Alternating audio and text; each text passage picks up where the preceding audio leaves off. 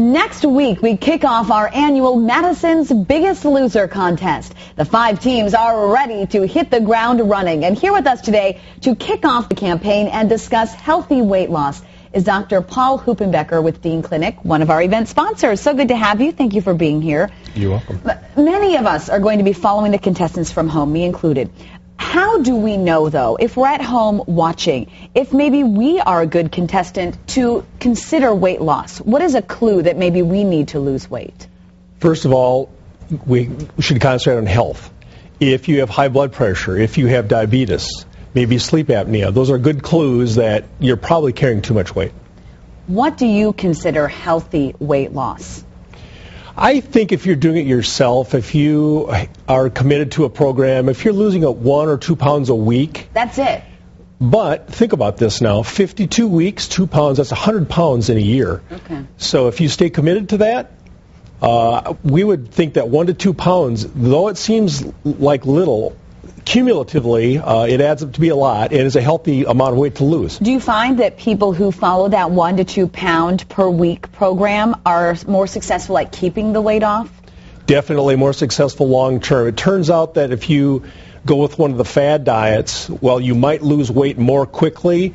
Keeping it off is always difficult, and as anybody that has lost weight will tell you, keeping it off is really the hard part. So, what is the key to success to keep it off? I think sticking with your program, uh, having a goal. Is it your health? Is it uh, some long, longer term thing than maybe fitting in your, in your bikini for this summer because the summer is going to be over? Maybe a longer term goal.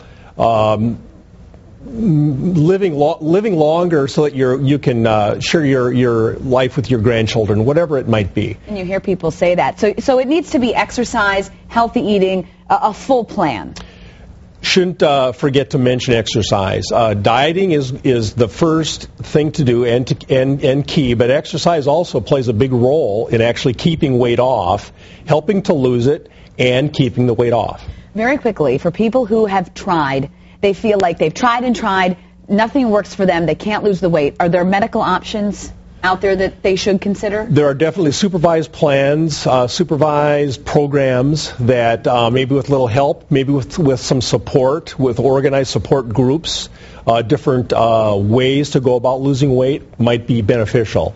But I think that the end message would be stick with something. You'll find something that will work for you. Good. So just keep trying and keep at it, and it'll happen. Dr. Huppenbecker, we really appreciate it. And thanks for, for helping us out with this contest. It's a lot of fun. We always look forward to it.